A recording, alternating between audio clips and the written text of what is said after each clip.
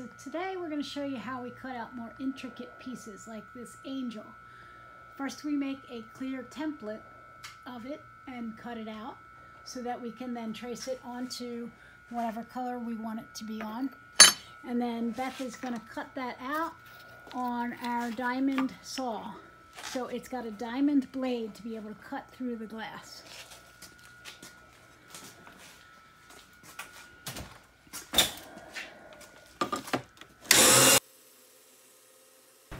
You have to very slowly and carefully move the blade around the outline of the drawing that you put on the surface of the glass. If you move too quickly or press too hard, you will not only damage the diamond blade on the saw, but you will also get very jagged edges on the form that you're cutting out.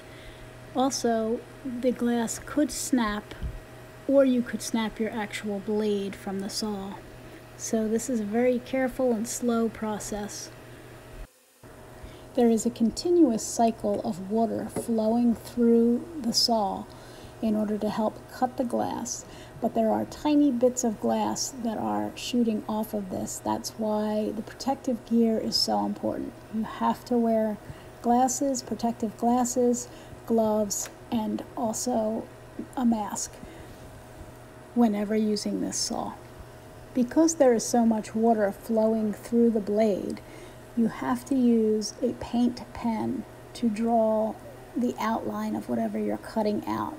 Otherwise, the image will just wash right off as you're trying to saw it.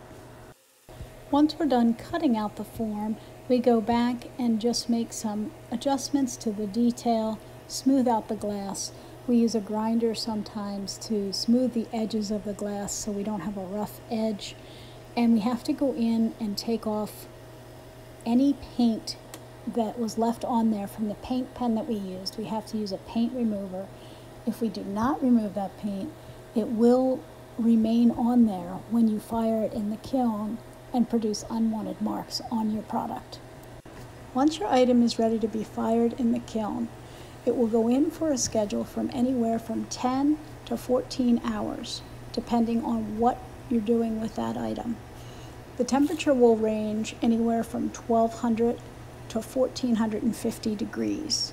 Again, that depends on what look and what exactly you are doing with that piece and how many layers of glass are in that piece. You want to go up slowly and come down very slowly to avoid thermal shock in the glass, which can actually cause the glass to shatter.